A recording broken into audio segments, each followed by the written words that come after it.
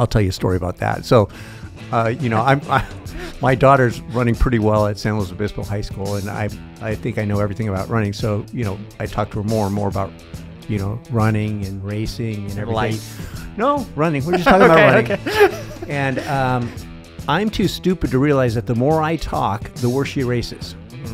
Finally, at about a month into this, I pull her aside and I said, "Let's go to dinner." So we go to dinner, and uh, I said, "Sweetie, I think I'm stressing you out." And she goes, "You are with a giant F and some other letters, stressing me out.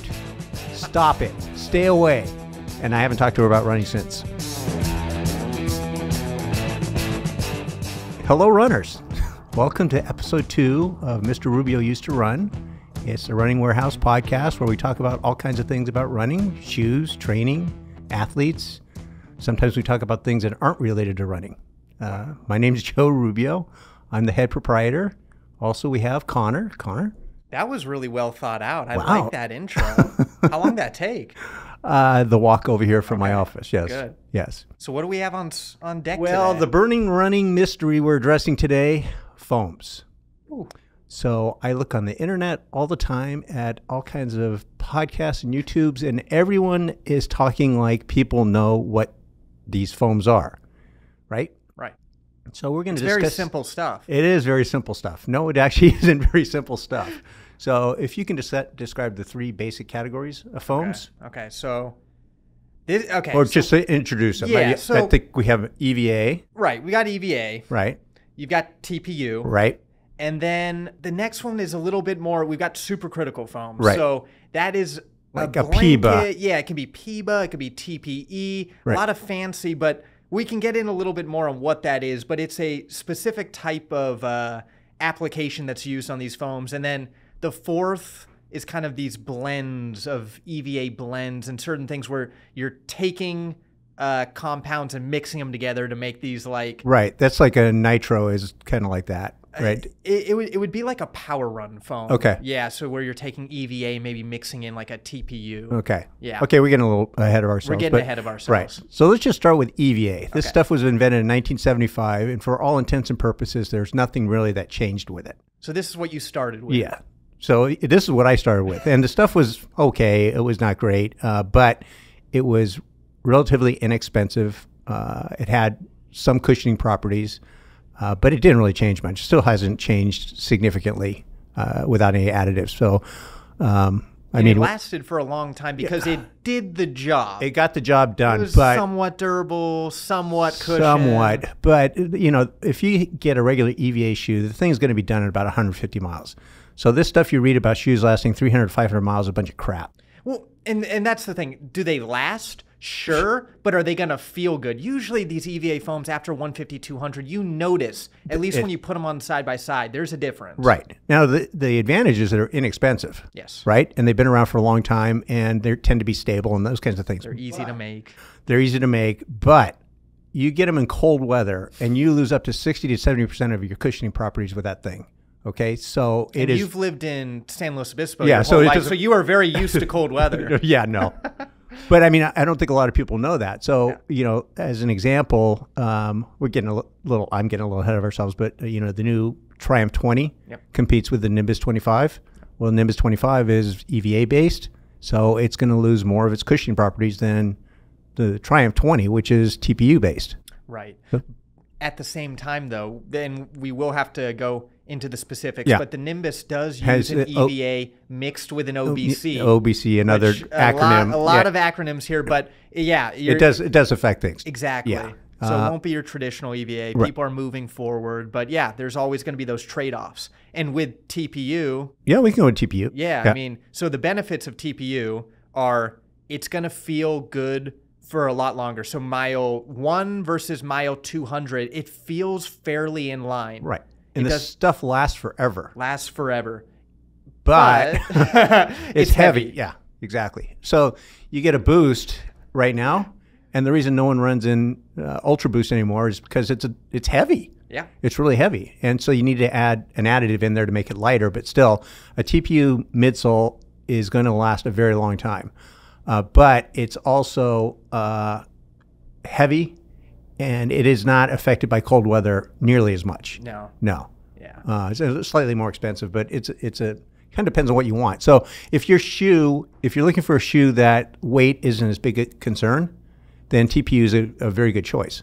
Yeah, and you throw with boost. Yeah. That's a beaded TPU. Right. So you think of a bunch of pellets all um, smushed together. Right. That pellet form actually makes it even more durable. So boost is fantastic. You see people put hundreds and hundreds of miles, and there are some additives that Adidas has tried to make the light boost, and they're they are able to make it lighter. They are able to change the properties, Right. but it is hard to get that that really nice feel of that original boost. So again, it'll be interesting to see where Adidas moves. We've already seen some new foams that Well, we saw we'll talk in Yeah, later. but we yeah we saw one day before yesterday with you know 211 women's marathon world record with the newest Adidas foam. But I mean we can go into that now. I mean PEBA or those types of foams Okay.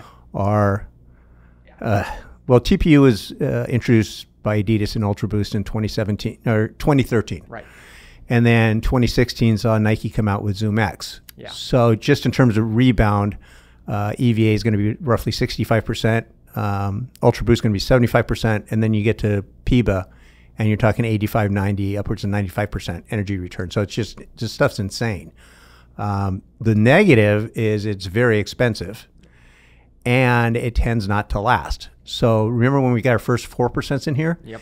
and everyone went to try them on and the problem was they creased immediately so we couldn't sell them right they were used i mean they didn't last very long at all Right. Uh, and what people, uh, what Nike was originally calling the Vaporfly, which a lot of people don't know, the Mayfly, Yeah. which was a shoe that was supposed to last what 60 kilometers, something like that something yeah real low amount. So the Vaporfly was never meant to last. And I think maybe we're even getting a little ahead of ourselves. So these are going to be your supercritical foams. Yes. So supercritical is a technology, um, or it's a, it's almost like a design process. You can make supercritical EVAs, um, PEBAs, TPEs. And what supercritical actually means is, and I, I always refer back to Kurt, our Yeah. favorite from Skechers. sketchers because they, they were the first to market it and they use co2 in, Right. in eva Right. And yeah, so Hyperburst was the first kind of mainstream supercritical foam. It was a supercritical EVA. And how he would describe it was they take a little baby part. So it would be basically uh, an EVA um, little small piece. it was a small thing and like i have a, a key fob it's like the Yes. size of a key fob Exactly. Right. And you would put that in what, in essence, is a pressure cooker. Right. You'd throw them in, you'd add in CO2 and nitrogen. This is gas. Gas can't get into this little baby part because it can't penetrate. So you add heat, that CO2 and nitrogen turns into a supercritical state, which is between a gas and a liquid. It injects itself in. Now it's basically a saturated sponge. You take away the heat, you normalize conditions, that super that supercritical liquid turns into a gas again, pop, explosion, you get the midsole. yeah which is really cool so it, it makes it softer and lighter right More responsive. more responsive uh, but it's a more expensive process yes. It's hard to do. It's right. not it's, not It's not something you can mass Right. produce as easily. And um, who Hoka is doing with the next Mach. The- I think the Mach six is the next one. They have a, a They have a supercritical EVA. Yep. right? And in a similar, pro- I think it's a similar process. It's an OBC that ASICS uses. Is that the same? Pro- I don't know the- if that's a supercritical the or just OBCs get into so that that would be the the final one Right. where it's that fourth. It's EVAs mixed with different compounds. So you'll see EVAs mixed with TPUs with like Power Run, EVAs mixed with OBCs, and this is like almost mixing two compounds together to get like some benefits of both. And I think you were you were talking about some analogies yeah. with well, this. I mean, um, I probably drink too much, which everyone knows. But um, so gin is a pretty popular drink. In fact, I was talking to Jasmine just a moment ago, and she loves a dirty martini. Right? She does. And I said, "Did you know uh, gin is actually starts out as vodka? You add juniper berries, have that sit for a day or two, and then you add some sort of botanical. Could be mustard seeds, it could be spruce. I don't know. You can add wood chips. I don't know, but it changes, and it's it's a different recipe depending on how you want the gin to end up. And this is what happens with these different foams. Everyone says, you know, it it isn't lively. Well, it wasn't designed to be lively, right? And we we can look at stuff like like Zoom X, and we don't have anything written that says this, but there's no way the Ultrafly and the Alphafly have the same midsole. They're both called Zoom X. One's going to be PEBA, so their high-end racing stuff's going to be PEBA, and the problem is people bought this high-end racing stuff and they started complaining and bitching and moaning because the stuff didn't last. Well, it wasn't designed to last. But then uh, Nike got so many complaints. Okay, let's make something that lasts longer. So my my guess is is a TPE, right? So it's responsive, but it's heavy, and it isn't as bouncy as the PEBA. Right. Uh, probably Invincible has that too. Invincible, probably the Ultrafly, and yeah, you're you're right. The durability, but I think also for daily training, they're, they're different purposes. So the Invincible, it needs to be a little bit more stable. May, Right. It might even be a little more dense. We don't know exactly, but there are different formulations that give different feels and for different uses. Right, and you got fresh foam. You There's got fresh diff- foam. definitely different fresh foams. Fuel cell. fuel cell, right? You know? but the fresh foam on the more Yep. is not going to be the fr- fresh foam on, on uh, these other models. I mean, the thing is just way too soft, right? Right. Right. It just depends on what you want the end result to be. Right. Right. And um, anyways, you, you just go. Uh, you know, that, that's the start of what is the experience you want with the shoe, Yeah. and then which material allows that to happen. I mean, that's the, the basics of it. And then when you have a, a runner that is complaining on Running Shoe Geeks about one, the shoe didn't last very long. Well, no, no, no, duh, it's an EVA midsole, right? And so it's going to wear out in 150 miles, right? And so you, you know, and the other thing is you get. Um, I read about you know people buying shoes off of eBay. Yeah. Okay, fine. They're inexpensive and they're authenticated. Now the problem is when you have a PEBA midsole, like a racing shoe, so you buy a once used Alphafly for half price off of eBay. You don't know if that person has had that shoe in the back of the car in Phoenix summer out in the sun, right? Baking. Because you've had experience with PEBA shoe that's been out in the sun. Oh yeah, and they, they'll they'll crack. They'll there's it's not good. No, it's not good. And the whole thing is you want that experience of the pop, right? Yeah. And but that pop is not there for very long, and you can mess it up easily. But on the new with the on racing shoe, it says good for up to four marathons. I mean, that's about it, Right. right? On on any of these high end racing shoes, And the new Adidas shoe, you can't forget about five hundred bucks, 500 bucks, one use. one use. Right. My guess is you might be able to get a little bit more Right. in, but the the performance is probably going to go down substantially and, after and one. you run in the shoes longer than you know. they're- Oh, yeah. But you you run enough shoes to know, notice the difference. right. right? It doesn't have that that pop like it does. Yeah. Right. And so you know, like going back to TPU, you know, someone says, well, why would I want a shoe that's not as poppy and heavier? Well, sometimes you want to just slow down on a run. You want to have athletes not run super hard on the, these things, right? Then you have the added thing of you know you have these super shoes and now we have super trainers, right? And so you have these high end foams, which is all fine, but then you add a plate to it. And all these high end racing shoes have plates. And basically you're immobilizing your foot, right? So over time, you would think your lower leg would get weak. And there is an uptick with elite athletes getting injured in their lower legs. It's go- there's going to be more of that. And if you think about it, these are the athletes that actually spent five or 10 years running without plates. So they have pretty strong lower legs. And then they jump into these shoes, and the times have just gone crazy. Now, what happens when you have somebody that's been all they do exclusively is be in these shoes with a plate? I'm guessing we're going to see a leveling of times and so forth. You know, the other thing is you look at the, the technology, we're about as played out in foams as we can get. Yeah. You can't go past 100. You can't go 11 on these things. Right. And you say that, and I agree, but at the same time, you know, we we've seen almost a leveling over the past few years of a lot of the brands getting very in line. Right.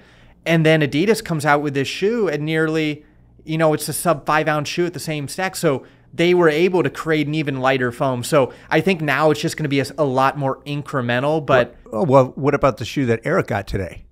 yes, our, Right, our head our head buyer got a pretty special shoe today Yeah, from and Hoka. yeah, it, it's it's insane. It's what it it's got Sub eight ounce, sub eight ounce. It's got a fully trail lugged outsole. yeah. yeah. It's nearly really, really, max. really cool, right? Yeah. it's actually uh, Decker's Lab Yes. is a, is a shoe, and, And supposedly it was a shoe that Jim Walmsley ran Right, at least part of UTMB. and whoever got fifth at, at UTMB, Yeah. uh, ran it as well. But you know, we're talking.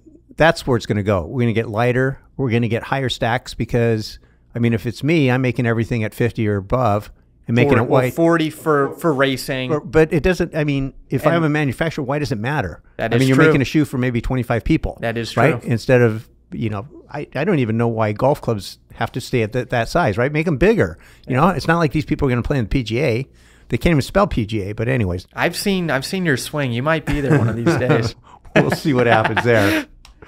Ah, geez. All right. So when when you talked a little bit about super trainers Yep. with plates, I think that's another important thing to go into because we're seeing it more and more. Now it's like every brand is like, do we need the plate? Do we need a super trainer with a plate? And you know, there there's times and places for these, like you said, but at the same time, I don't think it's an everyday thing. This No. is something that you can add in as a tool. Yep. But the plates every single day, I, I don't know if that's No the way to go. Um, you know, the thing is, I think there's a place for like the Cielo Road. Right? Which has a super foam. Yep. It's a lower stack. It doesn't have a plate. So something like that on doing your quarters or your mile reps would probably be a good thing, right? I mean, it reminds me of the old days with the ASICS Hyperspeed. No one really raced in that shoe, but they everyone worked out in that shoe because it was great. It's like 75 bucks, right? It was no frills. You just got the job done, right? And I think that's where the Cielo Road fits in. Right. And the other thing too, I don't think anyone's really nailed the, the ball out of the park with the, the 5K, 10K racing shoes. No, and we've seen some uh, some images leaked on Instagram of what could be a Streakfly prototype some by some Nike Right. athletes, and it looks very interesting. So I think the brands are starting to realize there's still a play there. Well, for, for sure. I mean, but the you know the fact of the matter, everyone's racing in high stack Right. racing flats to run their PRs, even in the you Yeah. know even in the the five k. Which tells me no one's nailed it yet. Nobody's nailed it yet, Yeah. right? And anyways, Yeah. so what else you got? All right, so okay, we're talking about super foams. Mm-hmm. We're talking about these super critical foams, the performances they've got it, and now we've seen the world record in the women's marathon go down. We've seen pretty much every track distance record Yep. go down, and this all happened after PEBA foams, super critical foams were introduced. How much of an impact are these foams playing? are, are we are we saying that these are the reason for the records? Are the training getting smarter? Are there other factors involved? Well, I'm, I'm sure there's you know some performance enhancing drugs here or there. You know, um, in fact, we, we won't we won't call anyone Uh, specifically. No, we're not going to call anybody specifically out, but It's you know the, possible. the shoes certainly help. Yeah. right? Um, and if that four percent actually holds up, Yep. and I don't think it applies to, to track, but look at four percent for four minute mile. That's nine point six seconds, right? And I was talking with Ryan Vanhoy, the head coach at Cal Poly. Um, we're supposed to have a beer tomorrow, by the way. Okay. Yeah, I'll see if I can get him on the podcast at some point. But um, You heard it here first. Maybe our first guest. maybe our first guest, uh, perhaps one of his athletes too. Okay. But um, I was congratulating him because last winter he had two athletes break four minutes in the mile. I said, "Hey, congratulations, coach." He goes, "Sub four now is not fo- sub four seven years ago. He's not the same." Oh. Right, and you know, in fact, uh, track and field news stopped keeping track of sub four minute miles because it's just like ludicrous. You got eighth grade boys breaking four minutes in the mile, right? Yeah, Maybe a little bit Maybe of a- a stretch, yeah. but I mean, how many high schoolers broke four this year? I don't know, like a eight. lot. Yeah. I mean, and before it was like how long it take Alan Webb to join the club? It Yeah. took like 30 or 40 years. It took forever. Yeah. Right? It just, it, it's not the same. But, you know, it does allow you to train harder. Yep. Right? Long runs and stuff like that. It's just, there's a time and place for everything. So does every long run need a super trainer? No. I mean, if you're doing a 14 or 16 miler, B- BFD, just use a regular shoe. But if you start getting into marathon specific stuff and you're going 18 to 20 and 22 with some of it at pretty good clip, yes, wear those shoes so you can recover and you can hit the times. But every workout, no, don't do that. Well, and from a training perspective, the, the things that I hear from my teammates, Yeah.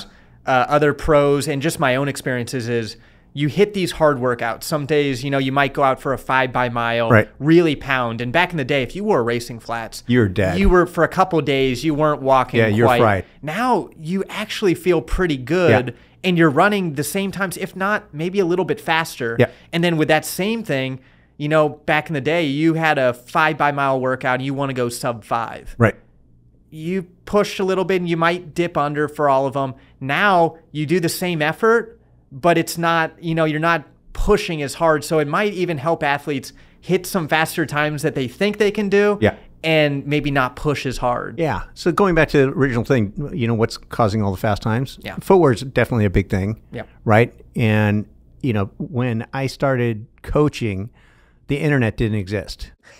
this sounds funny, but it didn't exist. So right now you have access to pretty much everyone's training on the planet. Right. You know, one of my favorite links is I have Schumacher's training from I don't know how many years ago, and I look at that, and I have uh, Warhurst. He's the legendary coach from Michigan. I have his stuff, and you have all the stuff. But before you had to look at books, and then you had books like How They Train, and Ivan Huff was in this How They Train, and I said, which week? He said, my best week of my life, right? So he put something that wasn't quite how he normally trained. And Ivan Huff, Yeah. if people don't know, running warehouse uh, employee Craig Huff, who is an Aggie. Yeah. He's an Olympic trials uh, competitor. Yep. His uncle. His uncle, and he ran 816. He was the fourth fastest American steeplechaser at the time. yeah. So, uh, but at back then, you would, there wasn't a lot of information, and America sucked. We sucked. We were horrible at distance running, particularly marathon. And this was in the 90s. And I got a hold of a guy named Frank Horwill, and Frank in, uh, invented multi-pace training. So he gave that program to Peter Coe. His son Seb is in charge of World Athletics or whatever, won a couple gold medals and a couple world records and stuff like that. But you know, at the time, everyone just ran easy mileage and not very much of it. And uh, I started writing on the internet about multi-pace training, which made sense to me, and people started writing to me, and I started communicating with all these coaches, and that's how a lot of this stuff came about. But right now, if you are a bad coach distance running, it's it, I don't know what to tell you. I mean, there's just so much information out there on the basics of, of what to do. And maybe the only negative with how much information is, there's a lot of information, Right. good, and there's there's some bad stuff out there too. So trying Right, to for sure. to weed out the the right stuff can Yeah. also be Um, but we can go into some coaching stuff. I mean, okay. uh, well, what do you got? I'll answer the internet. okay. so if on the Wait, wait, What? what what is this segment called? Joe answers the internet. Okay, Okay. it's official. It's official. Um, let's see. On the Cross Country Coaches Network, which is a group of people on uh, Facebook, they might be other places, but this is where I found it. Mike Coombs asks, uh, if I butchered your name, I'm sorry. Uh, dynamic warm up slash stretching. What do you do? What do you think is a must do? What do you think is overrated? So the short answer is dynamic warm up is always part of the warm up. It's not part of the cool down necessarily. Static is when you're absolutely done and it's for injury prevention. So that's the short answer. But it brings up a larger what coaching solution, circle of knowledge. How about running Riz? Something like that? is that trademark? It is. I just trademarked it. Um, and and so, how do you know which coaching style to use uh, for an athlete? So I always use a. There's a thing that East Germans and the Russians did, and uh, they're not people, nice people, but they had uh, they did understand training, and uh, they have uh, throughout an athlete's entire career. There's five stages of development, and ideally you have them go through each stage before the very end. So the, the five stages are train for fun. Number two is train to train. Number three is train to compete.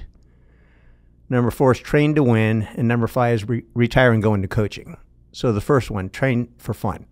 Train for fundamentals. And your focus is the ABCs agility, balance, coordination, speed, and strength.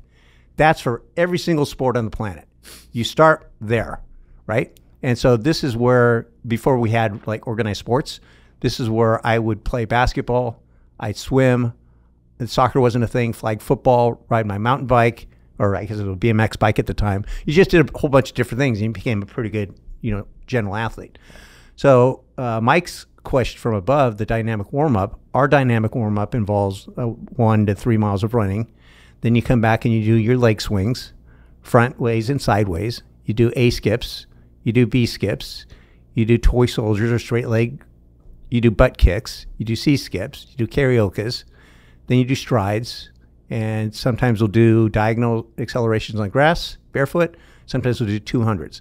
But basically, it, you, a lot of people aren't going to know what all the skips are. You can look them up in uh, what's her name, Sherry Hawkins, who made the World Championships team. She has some fantastic videos on that stuff. She can do it way better. I can't even do the stupid things. I know what to look for. But anyways, it, it, what you're doing with those drills is one is um, encouraging people to get proper cadence and also improve their form. And also, you're just working on the ABCs there, right? So if you have a elementary, junior high, or high school program, you have people just coming out, that should be the emphasis, right? The ABCs, dynamic warm up, those types of things, right? Train to train is basically every top high school in California, I'm sure around the world, they're good every year because they run 11 months out of the year and the bad schools run four, right? They just simply run more. Yeah. Um, and that, you know, that works in class. Like, how do you get B's?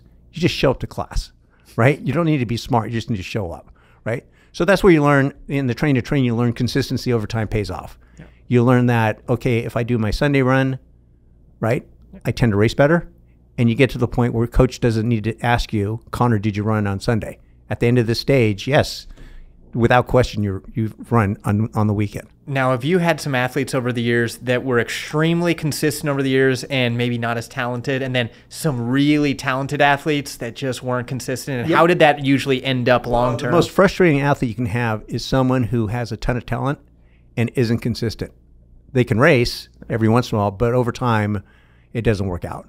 It's like everything else. I mean, you, you know, you can't you can't aspire to be a millionaire and show up to work two days a week, right? It's just not going to work that way, right? You got to show up and work harder than anybody else. So, so if we have the train for fun, fundamentals, and then train to train, and train to compete is what I tend to do. This is where you do uh, progressions, right? You you kind of set you set up the, the season so that you have success in the biggest races, right? With the idea being like you, it could be j- you need to get a Boston qualifier, so you're going to run Cal International, but you have to do certain types of training to get ready to run your qualifier. Then you recover and then you get ready for Boston Marathon and run your PR there. It could be Olympic trials, it could be nationals, anything like that. But you're doing you're, you're manipulating things, right? You're doing the same basic stuff all year, but you put different importance on different things. So And are, how many how many big events do you normally recommend an athlete might try to peak for each year? I don't know, three or four or five. or four, it, okay. it also depends on, on the event. Right, Like marathon. really, it's really maybe. hard to do uh, top level 10K Okay. a couple times a year because one is the opportunities aren't there, Right. right, on the track. Yeah. Um, it just it's difficult, Okay. right? So that's train to compete. Train to win is what Bowerman is. It's what Union Athletics is. Yep. It's what On is. the It's one of the one percent. And if you don't get on the podi- podium, you freaking failed. Seriously. Yeah. I mean, if Josh Kerr didn't get on the podium, the Brooks Beast, you know, yeah, Atkins had a great season, right? But that's what all this is. You know, that's what Bobby Kersee is. Yeah. His job is to get people on the podium. If he doesn't do that, And not only on the podium, I, some of these athletes, if they get second or third, that's even a fail. that, that that's a you fail, know, it's, it's right? win or win or lose, Yeah. right? Um, and so, and this is where you get uh, a lot of things like full time training, full time masseuse, full time rest, nutrition. Unfortunately, performance enhancing drugs come into play, right? Altitude training, you're trained full time, and it's a job, and no one cares how you're doing mentally. We'll get you a sports psychologist, but your job is to freaking run and run hard and do what I say. Your job as an athlete is not to think Right. right? Your job as an athlete is to run, right, and to win. And uh, I was golfing with Vanhoy and Engels, and uh, Engels asked, "What is the best attribute for a top athlete?" And and Vanhoy and I, in unison, said they don't think. Once they decide on their coach, that's it. Their job is to run and race and win. Right now, I'm not in that stage. That's a that's a different thing altogether. But if you imagine Ritzenhein, he's now in the retiring into coaching, right? So that's just the general progression of how you get people through uh, their career. Now, the reason I bring this up up is people say, you know, they'll come up to me and say, "What should I be doing?" And I ask about their background, and then based on where they're at, well, here's what we need to focus on. And where you run into problems is when you have, and I see this in soccer, and I saw it in gymnastics with my daughter. You have these parents that are just screaming at their kids about, about winning, and they're years away from that stage, right? And you go, I mean, yeah, work for Tiger Woods, work for one guy on the planet, right? Or work for Serena, and you know, um, it's just it's just a different ballgame, right? Um, but if you want to have the most success with your athletes, right? One is if your parents stay out of it, don't coach your kid. I'll tell you a story about that. So, uh, you know, I'm I, my daughter's running pretty well at San Luis Obispo High School, and I I think I know everything about running. So, you know, I talk to her more and more about, you know, running and racing and everything. life. No, running. We're just talking about Okay, running. And um, I'm too stupid to realize that the more I talk, the worse she races.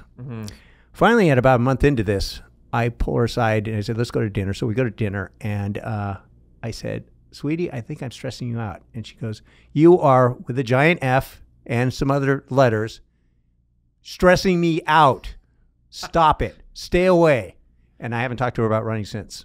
And same thing with my youngest on pole vault. Although she did ask me to help her with uh, sprint training in the off season, Right. and I know nothing about sprint training. I mean, like real sprint training. Yeah. So I contacted Brian Fitzgerald, who's one of the best sprint coaches in California. Yeah. He laid out the program and so she did his program, and I just timed. Nice. Yes. So, but um, I mean, basically, decent coaching is. It's basically, does it work? Is it easy to implement? Can any idiot do it? Right? And do I use it? Yeah.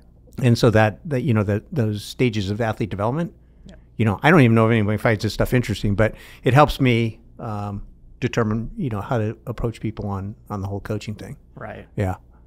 Yeah. Well, I think the coaching, we'll, we'll keep getting into this because not many people know. How many years have you been coaching now? Uh, since the early '90s. And that's with the Aggies. yeah, at Cuesta College. I did a lot of J. I thought I was going to be a J, JC coach, and then I started this, and that changed. Yeah. But um, yeah, I've had uh, three. And, and you say you ha- you haven't necessarily been at the run or trained to win, but you have had some people on the that world have. cham- world championships. Sergio had a pretty good Sergio, run. I mean, he's doing great. He he, uh, Sergio Reyes, Reyes. was 2012. Uh, uh, U, tw- U.S. national champion in the marathon, two, Yeah. 213, I want to say. Yeah. Yeah, something like that. But um, yeah, so uh, it's it's pretty basic stuff, but you know, I, I tend to think in uh, put things in boxes Yeah. to make things easier for myself. Yeah. So basically, there's only you know like two workouts. right. I mean, of significance. You're either doing tempo work or you're doing intervals. It is so simple when you look at, you know, a long run, two workouts a week, and you get some mileage in, and it's really just year after year. It's there's no quick. No, there's you, not a You know, there are some people with genes, Right. some talent that can get them to a certain level faster, but really, it's just time. And the other weird thing that you can't plan on is I've seen this with uh, a few athletes, particularly uh, Mark Conover, because he was my roommate and Right. I was training with him. And the 1988.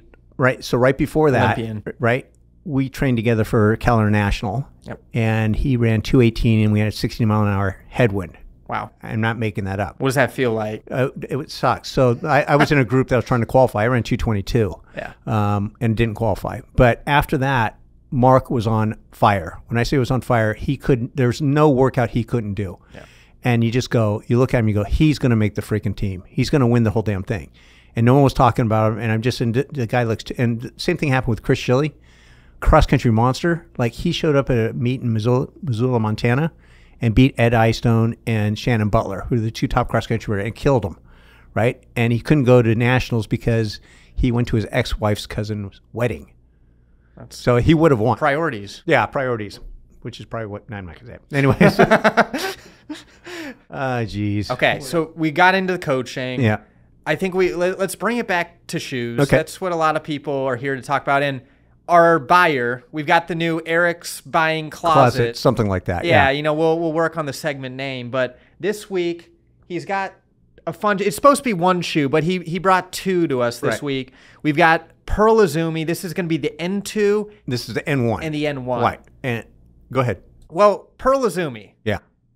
they were on fire. When I first started working here, 2012, 2013, Pearl Izumi was like the shoe. They All were on the cusp. they- yeah, like the trail runners loved it. They were saying this is the shoe if you're gonna go and race. They had a really great line. They were starting to work into the roadside. Just really cool product that was a little bit different and it, it fit good. It felt good. Yeah. And then what happened? They just the and, and the next line was insanely good. Yes. And they just pulled the plug. Poof, Poof, it went away. gone. Right. And um yeah, the everything was gone. Their whole running line was gone. and we were upset and we, we talked with Pearl Izumi like is there any way we can bring this in exclusively Yeah. and they're just they they were done with running and it was a shame because these shoes uh, our buyer Eric this was his favorite trail shoe maybe even to this day he still loves this shoe But if you look at it, I mean, there's no stack on this thing. I think Yeah. these are pretty much a zero drop kind of shoe. Um, Well, well, Pearl Izumi had what they called a dynamic offset, and uh, you know, at, at the time we didn't really know what that What the kind heck of that meant, meant, but yeah. it it was supposed to be like a little bit more of what you're seeing with rockers today, and you know, I don't know. it was interesting. It was pretty cool stuff. Yeah. Right. Uh, the colors and everything else was pretty spot on. very you, you could see this from a mile Right. away. And the other thing too is their apparel. I know we don't talk a lot about apparel, but their apparel was fantastic. Yeah. You know, the shorts and everything Yeah. were just really well done. right. So it's a bummer to see him, see yeah, him go. you know, right? you, you saw pro athletes wearing these shoes. Yeah. They were really all in, and it, it is a shame to see what that brand might have been, but we'll never know. Well, I don't know. We Maybe have, it'll make a comeback. we got to see if Eric has a, a pair of the Zoot carbon plated shoes from, Okay. I don't know. Maybe that's next week. Yeah, we'll see if he has one of those. Okay. But I mean, there's all these brands that come and go. And Yep. the tough part about the running industry is it's so competitive. Yes. Rarely do you see uh, uh, anymore someone like a, a Hoka or an On who are like 10 years old that are now players, real players. And I think it's tough too with the cases like Pearl Izumi, like Zoot, when they come from more of a try or they come from a background where they're focusing in something else. Right. And then they come to running and they're not all in on the running. We've seen this with Reebok. Yep, yeah, um, and that's funny because Reebok started as a running company back Right. in the 1800s. J.W. Foster, I think was the guy's name. They go a different route Right. though, and then they lose the way of They running. lose the weight, right? And Reebok does this time and again, right? Um, but the connection between Reebok and Hoka, do you know that connection? I do. Okay, so uh, Angel Martinez invented the very first women's athletic shoe, the freestyle, for Reebok because his wife was taking these classes, Jane Fonda aerobics classes. You sound this is funny, but at the time, uh, high school girls would wear dress shoes to gym. Wow. And basically, it was not a whole lot of sweating or anything like that. Then Title IX passed, and that running shoe or just athletics for women really started to take off. But so Angel was president of Reebok when uh, they came out with the freestyle, became hugely popular. It took Adidas and Nike collectively six years to make their first women's shoe, and during that time, Reebok became the number one brand in athletic shoes. And that's when Phil Knight was gone and he came back right? Um, but then Angel became president of Deckers and convinced Deckers to buy Hoka. And on the board of directors, he was the only person that wanted to buy Hoka. Everyone else thought it was a dumb idea because at the time you had Tony making the five fingers, and that was all the rage, right? Nike Freeze and all that kind of stuff. Who the hell's going to want this clown shoe, right? Well, all the broken runners in the world wanted the clown shoes, right? So that's that's the connection there. And Anil then retired and lives in I want to say Ojai in a in a mansion somewhere over there. yeah, I know. he's a funny Love guy. Angel. He's a good guy. He's a good dude. Okay, you brought up Phil Knight. I think we have to at least talk about it. It was a little bit of, uh, a little while ago, but I think we need to just go back and talk about the highlights of pre-classic. You were the Uh, running warehouse ambassador. You you showed up and you had a good time. That was insane meat. And I, you know, another thing I'm, you know, Joe answers the internet. You know, I have all these kids or adults. I don't know who the hell these people are on LetsRun talking about how bad Eugene is. And I'll tell you what, I had a freaking awesome time, and I'm glad you weren't there, right? It- you know how expensive it got to, to get there. I flew to Denver and then to Eugene and back to San Luis Obispo. It cost four hundred and fifty dollars. I find a, found a place to stay for hundred dollars a night. Uh, Leo, who works for me, uh, was also John Capriati's best man at his first wedding. He went. He found an Airbnb um, uh, studio for sixty-two dollars a night. Right. Food wasn't expensive. Everyone says there's homeless people everywhere. Well, there's no homeless people by the track where I was at, or the golf courses where I were at, or the restaurants where I was at. But the meat was insane. I mean, the, the the fact that they split it up into two two days at two hours each was fantastic. You know, and then it, you know the other thing is is track and field is, is a sport where you can walk down to the track after day one. And I'm talking to Jenna Rinke, who got second in the 800 the next day. Bryce Hoppel, right? I meet Christian Coleman, right? Um, I spent a ton of time talking to Justyn Knight, found out what he's up to, right? I mean, just um, saw Mike Conley, uh, talked to him for a while. It's just you just see people everywhere. The the pre, previous Prefontaine I went to, I met uh, I think Mo. I met Ryan Crouser's grandmother. You know, it's just stuff like that. Yeah. But you know, seeing two two world records, Yep. and then going into the airport and I'm sitting talking, uh, waiting for my flight and talking to one of the board of directors at Drake Relays, He says, Mondo's over there. So I go over to talk to Mondo, and he's sitting at the counter in the restaurant, and he's on his phone, and he's not looking up at me. I say, hey, congratulations yesterday. He goes, thanks. And he's still looking at his phone. I said, my daughter's pole vault coach coached your dad. He goes, he looks like he goes, Jan Johnson? I go, yep, Jan Johnson. I said, can I get a photo? He said, of course. So I got a photo with Mondo, but it's just stuff like that, right? But probably the, the coolest thing was on my flight to Denver, uh, there's a lady that's sitting to the right. I, I got the dreaded middle seat, you know, but whatever. I needed to get to Eugene. So I take the middle seat, and this guy sits next to me, and he looks like an athlete. You know, when you see people and they look like athletes, Yeah. this guy looked like an athlete. Specimen. Yeah. And I said, So you competing this weekend? He goes, Yes. I said, What event? Long jump. I said, How'd you do at the Worlds? He goes, Silver medal. Okay. Um, Jamaican guy. So then uh, this, other gentleman walks up and says, I think you're in my seat to the silver medal. So the guy looks, he goes, Oh, yeah, sorry. So he goes up, and this gentleman sits down next to me, and I'm making small talk. I said, uh, Are you going to the meet? He goes, Yeah. I said, Are you a fan? He goes, Yeah, yeah, I'm a big fan. I said, hey, Are you a coach? He said, Yeah, I used to coach. And I said, Were you an athlete? He goes, Yes, I was. I got the bronze medal in the 110 hurdles in the 1960 Olympics, and I got the gold in 1964. Hayes Jones. Ooh. So he became my best buddy. So we were hanging out together. He's telling me some great stories. And one of them was um, at that time, to compete in the Olympics, you had to be an amateur athlete. You couldn't accept money at all. So in 61, Hayes graduated from Eastern Michigan, got a job in Detroit as a teacher, and they asked him to be the head basketball and track coach. Well, he said, okay. So, him being an Olympic medalist, he was all over the local papers. Well, Avery Brundage, who was in charge of the IOC and really a dick, um, he saw the article, contacted the head of the AAU, which was in charge of track and field at the time, and said, if Hayes continues to work at this school, he's not competing in the 64 Olympics. So he had to quit, and his family had to support him for the next three years while he trained. He got the gold medal. Who put the medal around his neck? Avery Brundage. Yeah. I said, What do you want to do? He said, I want to punch the guy right in the face. But, anyways, I'm supposed to go to Atlanta here in a couple weeks, and uh, I don't hang out with him, you know, take him by our facility there and stuff like that. But really sweet man. You know, he was sitting next to me and uh, eating chocolate. And I said, You really like your chocolate? He says, I just eat chocolate on the weekends. I said, You got a lot of discipline. He goes, How do you think I made it on the podium, young man?